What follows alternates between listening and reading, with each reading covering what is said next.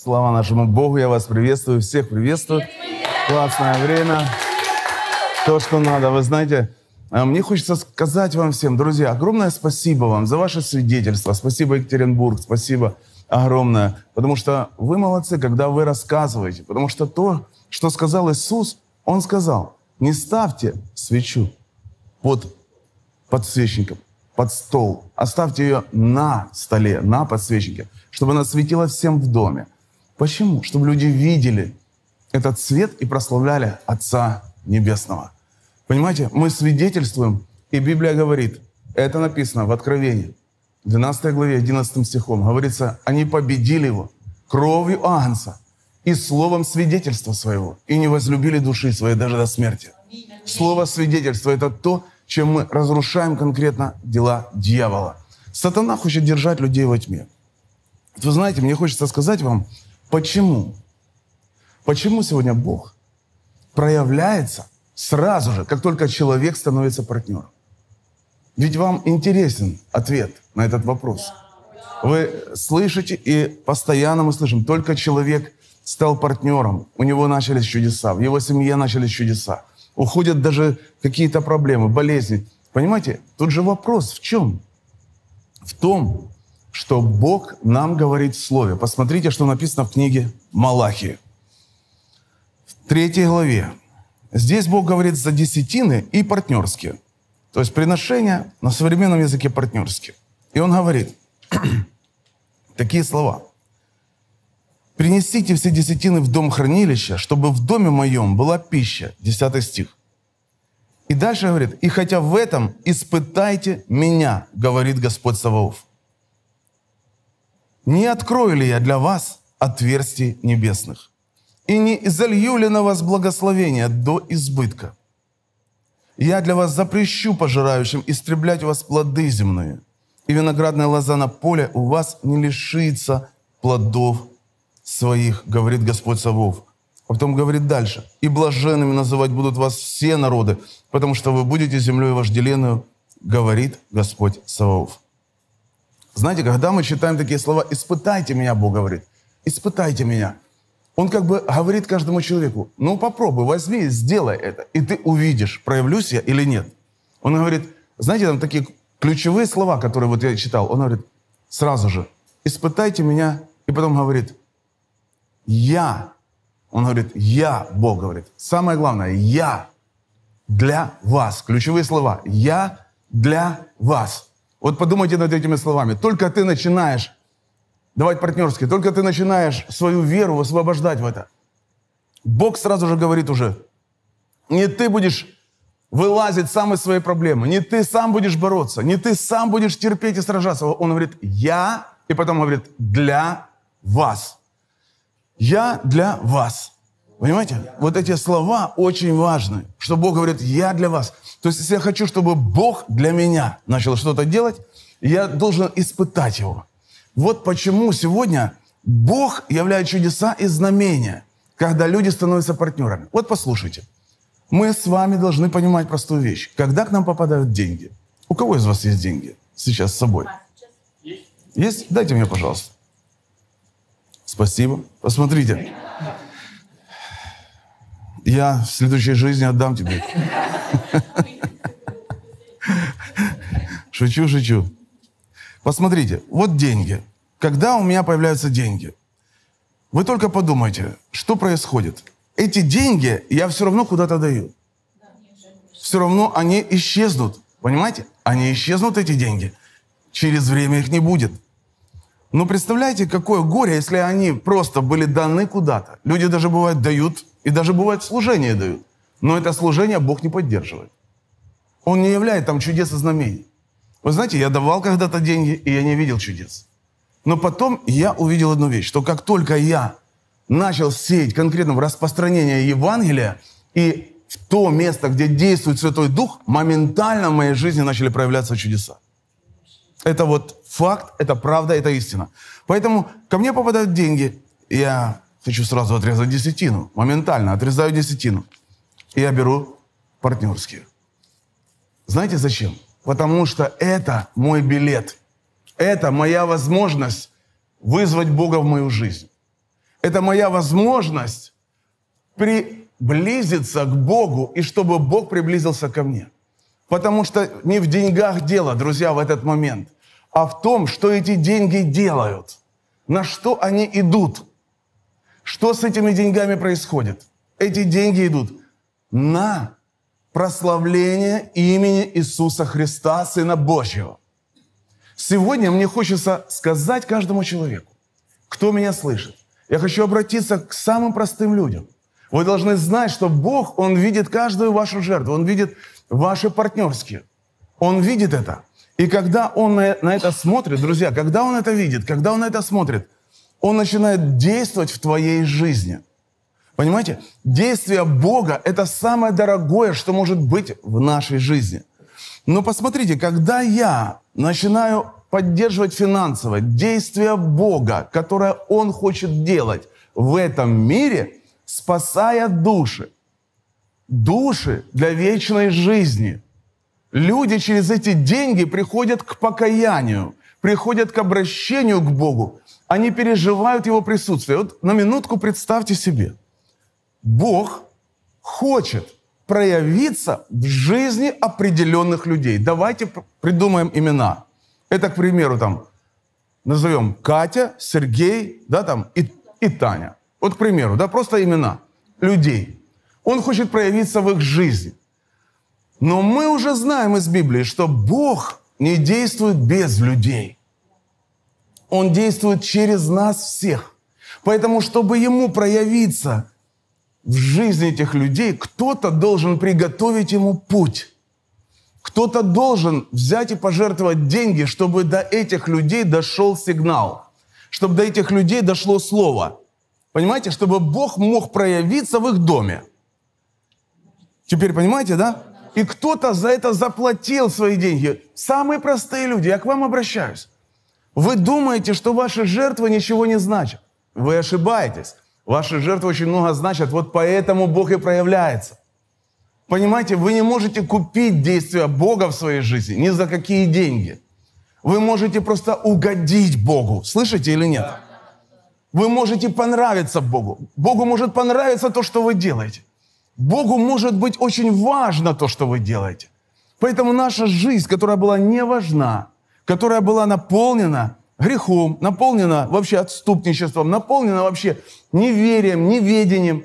Когда мы пришли к Богу, и теперь наша жизнь уже наполнена смыслом Бога.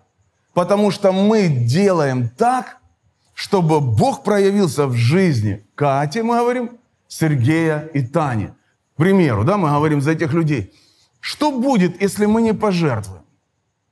Что будет, Давайте разберемся с этим вопросом, нам тогда станет понятно, почему важно быть партнером и почему Бог проявляется в жизни людей. Вот если не пожертвовать деньги, что будет с Катей, Сергеем и Таней? Что будет с этими людьми? Представьте, что это, к примеру, муж, жена и дочь. Что будет с их домом? Друзья, вы можете думать все, что угодно, отпираясь от реальности. Но факт остается фактом – если мы не пожертвуем, эти люди, о которых мы говорим, да, вот сейчас, они погибнут. Кто-то из них умрет от болезни и не получит исцеления. Самое страшное, они никогда не переживут прощения грехов и дара вечной жизни. Подумайте только об этом. Неужели сегодня мы, вот понимая все это, не будем осознавать, почему Бог действует в нашей жизни, когда мы жертвуем? Если бы мы жертвовали куда-то, где Богу это не важно, Бог бы никогда не проявился, ни одного свидетельства не было бы. Слышали? Если бы это было для Бога вообще не важно, это вообще было ничтожно, Бог бы никогда не проявлялся. Мы бы не слышали этих свидетельств. Мы бы не слышали того, что люди рассказывают о таких чудесах. Мы будем сегодня весь вечер это слушать. Буду много сегодня делиться словом. Буду много сегодня говорить. И Виточка сегодня много будет говорить и молиться будем. Бог совершит множество чудес. Потому что Бог творит чудеса в жизни партнеров. Если ты партнер, ты должен знать, Бог проявится в твоей жизни. Аминь. Не сомневайся даже. Аллилуйя. Понимаете, когда мы говорим, Катя, Сергей и Таня, да, вот семья, И они могут пойти в ад на вечное мучение. При этом Христос заплатил за них, чтобы купить их, искупить их. Понимаете? Почему искупить говорится? Потому что они были Адамом проданы. Все мы были проданы. И искупление было кровью Христа пролитой. И сегодня эти люди могут это искупление пережить только через веру в Иисуса Христа. Когда мы прославляем Его имя, когда Его имя превозносится в домах, куда приходит сигнал, который оплачивают партнеры, именно тогда люди обращаются к Богу и переживают искупление, переживают омовение кровью Христа, прощение греха, понимаете?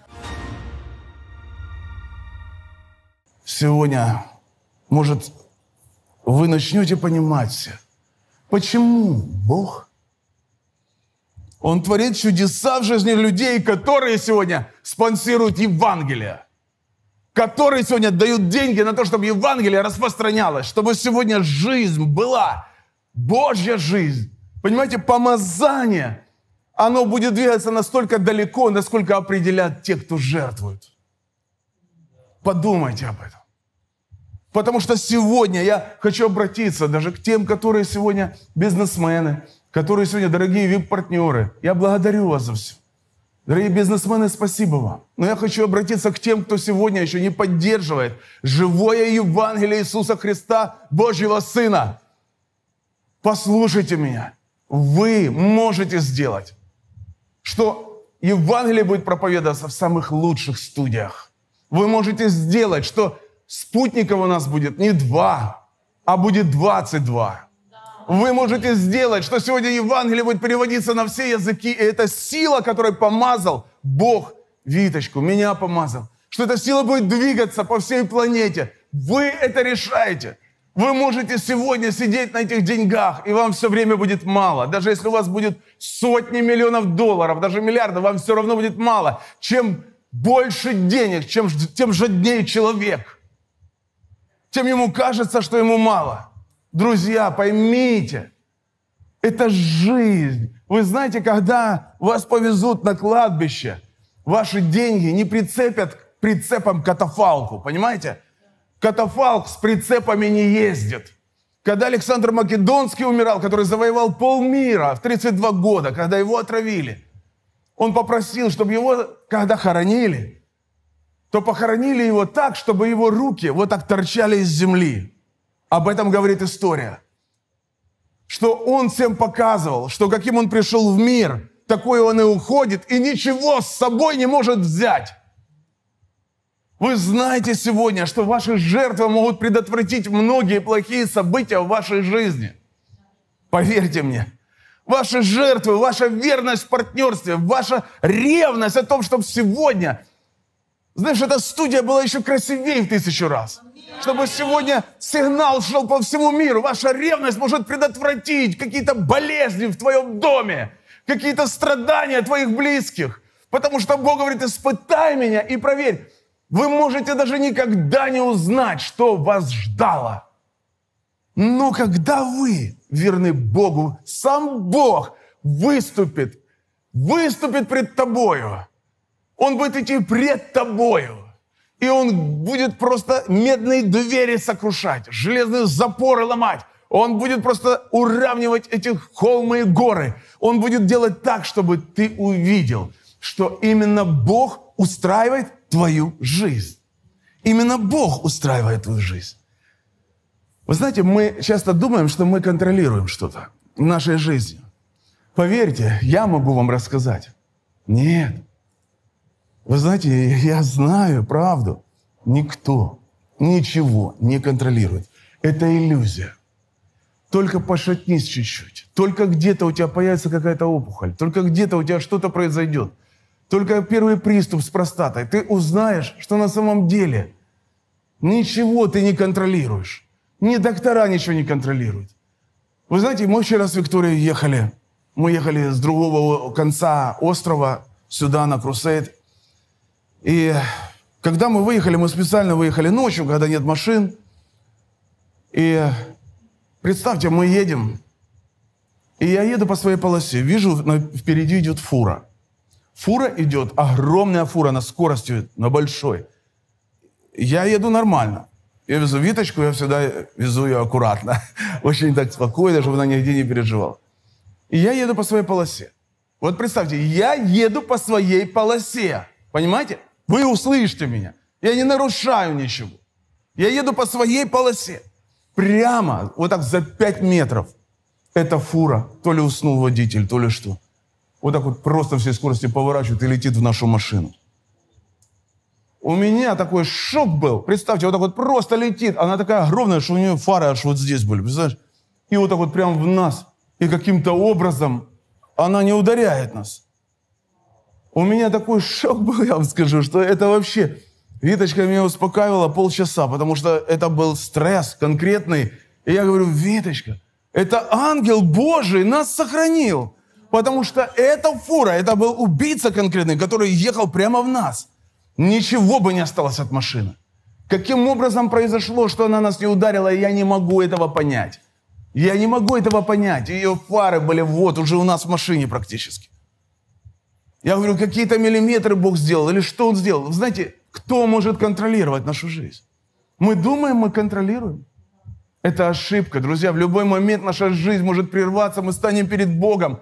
И нам надо стать перед Богом, знаешь, опустошенными, чтобы мы весь свой потенциал, который нам дал Бог, и реализовали здесь на земле для Него. Чтобы все свои финансы мы реализовали здесь на земле для Него. Для Него. Знаете, люди, они не понимают, что такое жить для Него. Для Него. Друзья, это доверяя Ему прежде всего. Это зная, что Бог, Он ведет тебя. Братья и сестры, послушайте меня.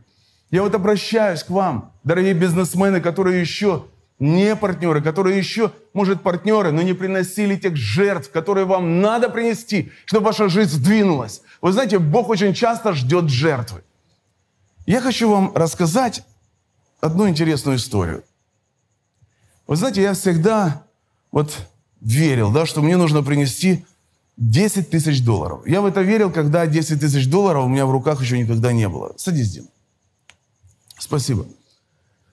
И вот моя мама, она отошла в вечность, остался дом, и мы с сестрой продали дом. Деньги разделили напополам, и у меня получилось как раз 11 300. Я принес десятину и купил телефон э, помощницы, не взял себе ни доллара. И 10 тысяч я взял и отправил пастору Банихину на самолет. Многие осуждали его, знаете, говорили, самолет. Но я знал, что ему нужен самолет, чтобы проповедовать Евангелие по всей земле. Когда я принес, это был сентябрь, я принес эти 10 тысяч долларов.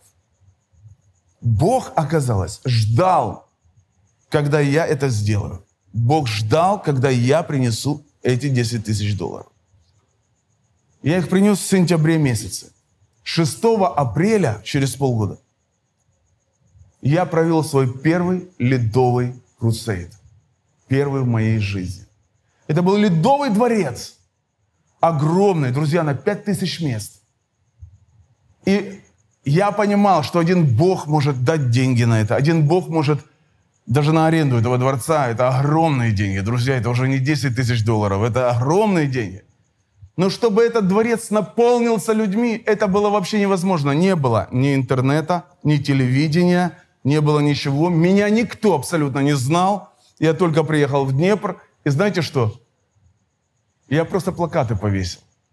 В городе повесил плакаты, на которые никто никогда бы не пришел, даже один человек, понимаете? Но когда я зашел в зал, зал был полный людьми. Абсолютно новыми людьми, которые впервые вообще были на собрании. Это было служение, на котором Бог исцелил больше всего людей, когда я видел в своей жизни. Когда я помолился, друзья, сотни людей, так 300 человек стояло с костылями, с палочками, с разными болезнями, которые просто исцелились мгновенно. Когда я сказал, Дух Святой, приди, зал был наполнен силой. Помазание исцеления двигалось мощно. Друзья, Бог сотворил величие не только для людей, но для меня. Он показал мне, что это нужно. Я вам скажу, что Бог очень часто ждет нашей ревности, ревности, чтобы проявиться, ревностью по Нему, ревностью потому, что вот ты сегодня смотришь, и ты думаешь, я бы хотел, чтобы качество было лучше. Чтобы качество было лучше, друзья, нам надо снимать не на фотоаппараты. Нам надо снимать на камеры Sony, которые стоят в 10 раз больше каждого фотоаппарата, понимаете? И нам нужны эти деньги для того, чтобы Евангелие, то, что о Христе, Его помазание, оно двигалось в самом лучшем качестве. Кто-то сегодня должен возревновать. Кто-то сегодня должен возревновать. Мы зашли в магазин, посмотрели на эту цену. 100 миллионов камера стоит. Понимаешь, просто без линзы. Понимаете? И плюс еще линза столько же. Вот и представьте себе, 200 миллионов. Это, понимаете, какие деньги? Это обычная линза, не широкоуголка. Подумайте, неужели сегодня в мире люди, они отдают деньги, куда-то отдают, теряют где-то. Они где-то просто свои деньги держат, где не надо держать. Держите их в банке небесном. Держите их в Боге. Держите свою веру в Боге. Вы знаете, у меня нет в сейфе денег, но у меня в сейфе есть вера. У меня есть вера, понимаете? Потому что сегодня, друзья, мы можем видеть, вот мы здесь, я здесь и живу, я здесь и служу. Понимаете, мой дом, моя крепость, и в моем доме всегда Дух Святой действует. Потому что Богу важно, чтобы мы ревновали по Нему, чтобы мы ревновали по Нему. Ревность по Богу изменит вашу жизнь, друзья. Когда мы приехали в Киев, и я помню этот момент, друзья, как я... Это интересная история. Знаете, история. Вот две рельсы – жертва и молитва. Жертва и молитва. Запомните, это две рельсы в твоей жизни. Жертва и молитва. И мы с Виточкой поняли, что нам нужно принести жертву пастору Банихину, и нам нужно принести 100 тысяч долларов. У нас была именно эта сумма. Мы взяли эту сумму. В это время мне нужно было покупать храм. Это были все деньги. Казалось, да, возьми, оставь. Нет. Мы взяли, и пастор Банихин проводил собрание тогда в Дворце спорта. Он был у одного служителя с Киева. Мы пришли. Мы сидели за сценой, все люди ушли. Представьте, в зале ни одной души. А за дверью, там, где холл, там все движение, там пастор Банихин, там люди. Но в зале и за сценой ни души. Мы сидим час, сидим второй час. И у нас должен быть колледж через несколько месяцев. И я иду на сцену, становлюсь на краю сцены. И я стою на этой сцене, представьте, и смотрю. И смотрю в зал. И вхожу в четвертое измерение. И начинаю представлять и видеть картину, как люди забили зал. Зал полный людей. Я понимаю, что это невозможно, друзья, потому что самый большой колледж у меня в Днепре был последний две с половиной тысячи.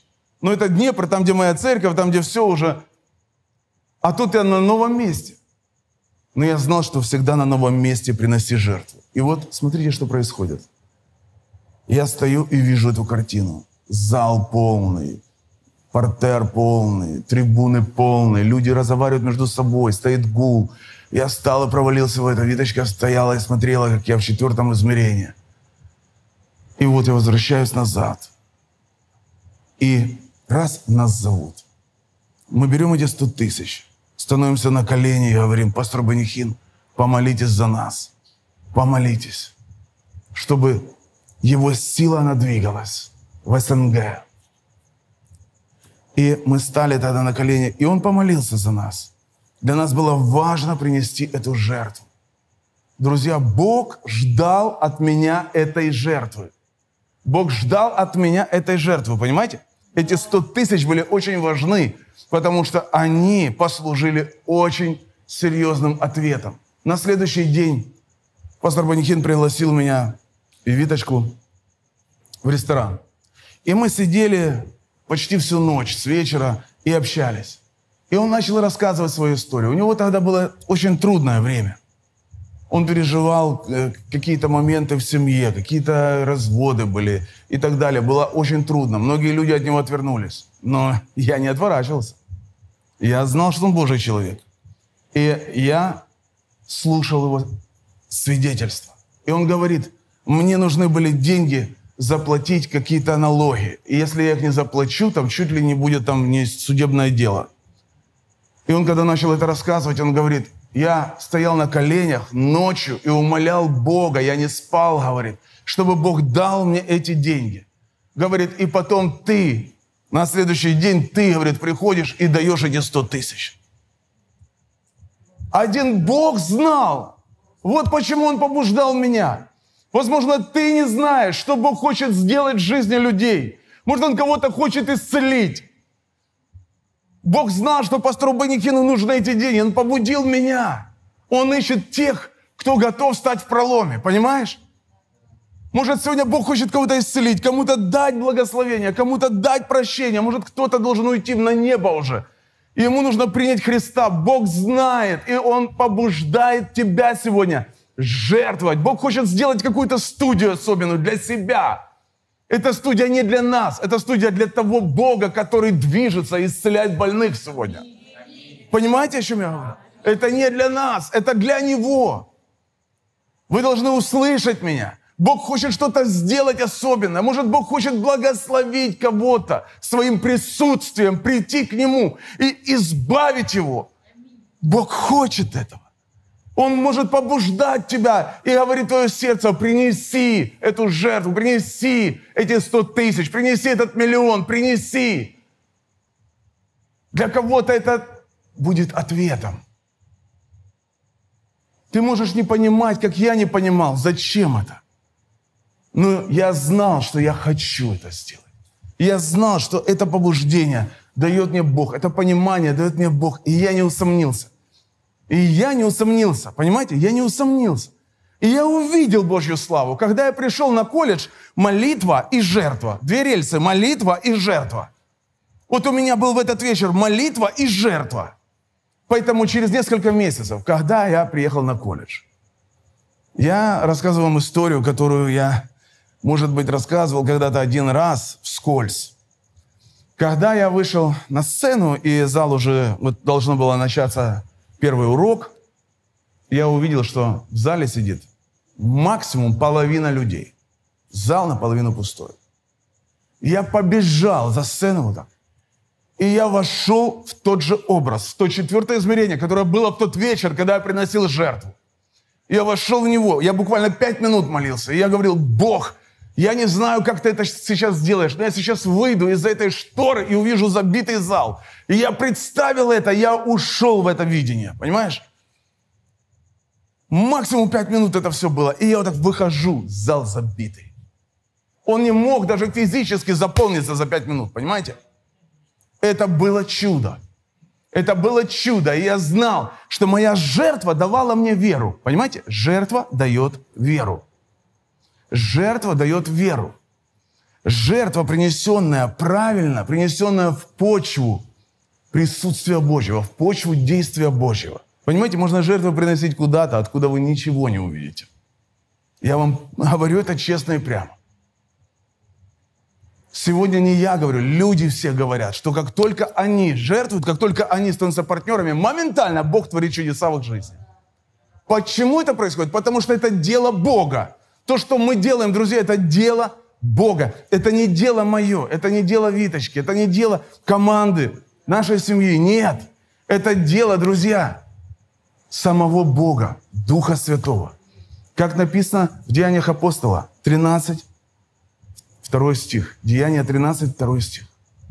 Говорится, Дух Святой сказал, отделите мне Варнаву и Савла на дело, которому я призвал их. И потом говорится, сии, быв посланы Духом Святым, пришли в Селевкию, а оттуда отплыли в Кипр. Понимаете, они двигались. В 16 главе говорится, что Дух Святой их направлял. Они хотели прийти в Асию, Дух не допустил их. Хотели сойти в Вифинию, но Дух сказал нет. И потом муж македонянин, это был тюремный страж, который заключил их.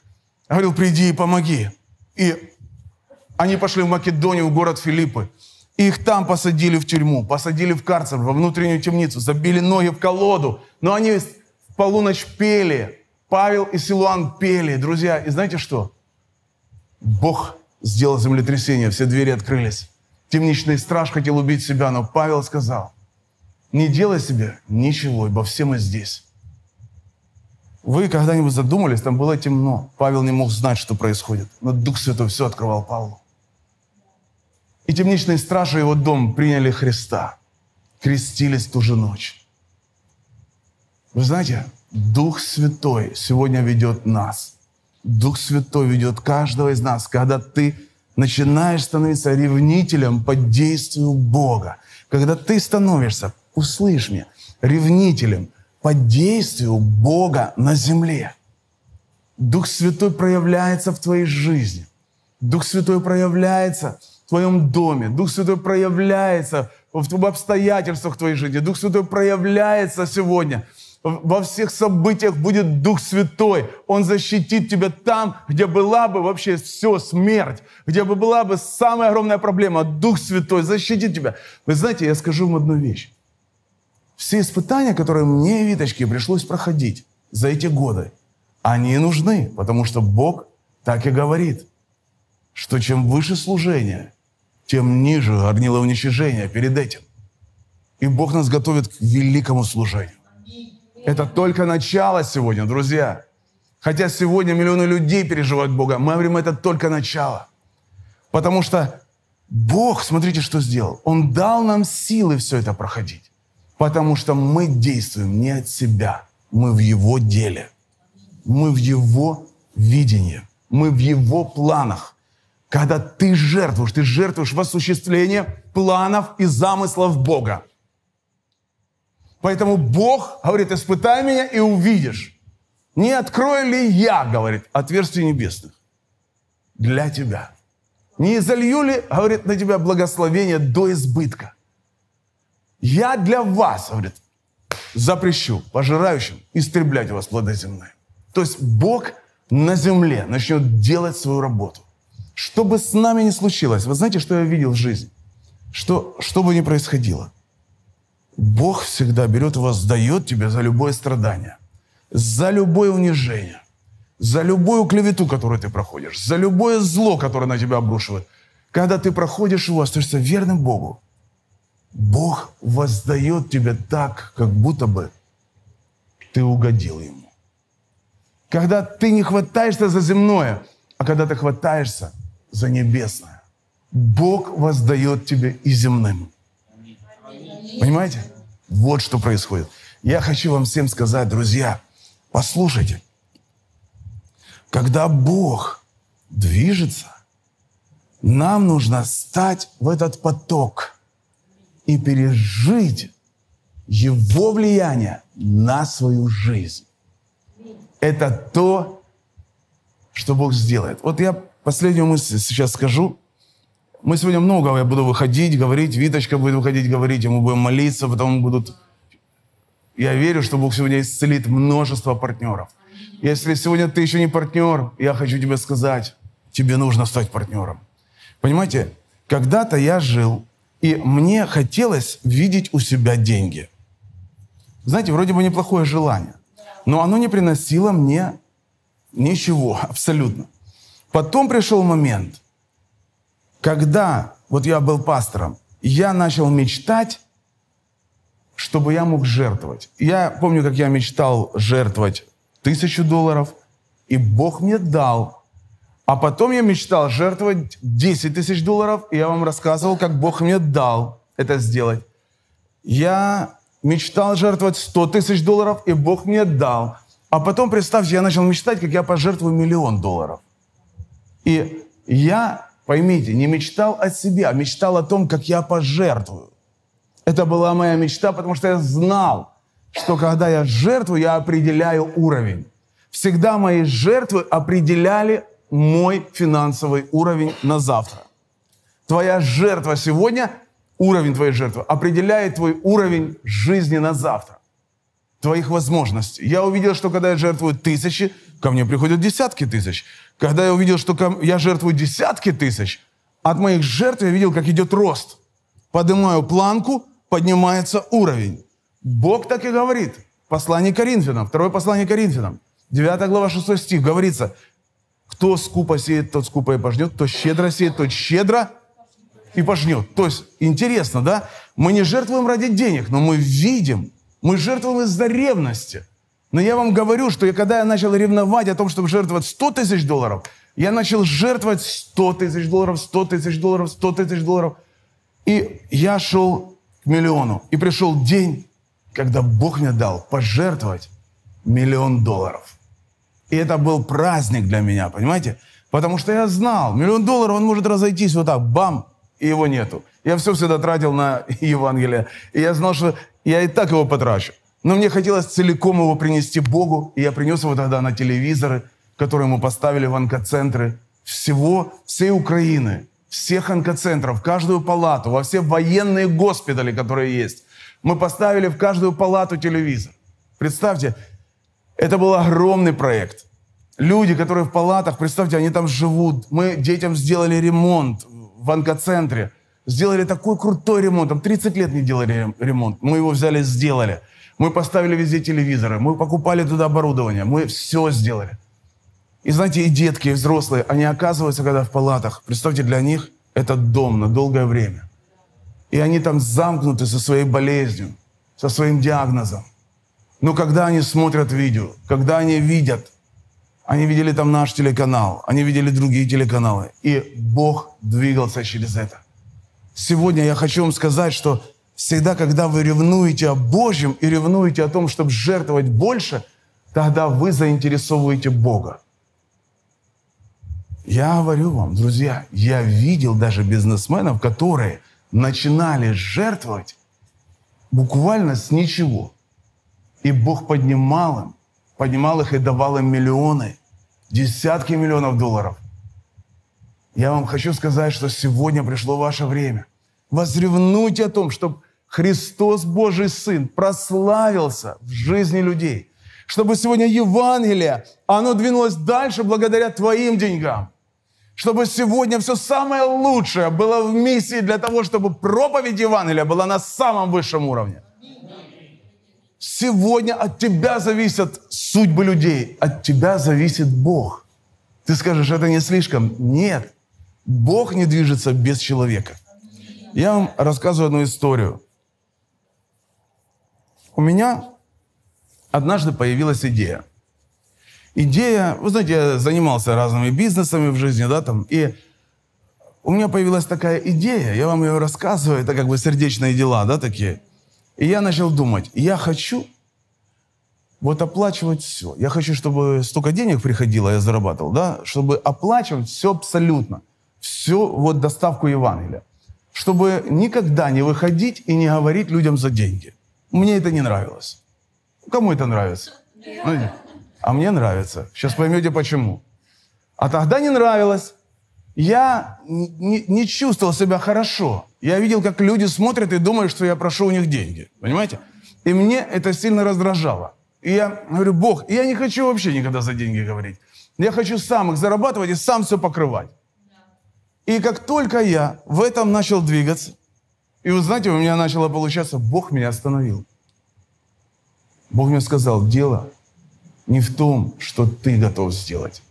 Я вижу твое сердце. Но дело в том, что я хочу благословить моих детей.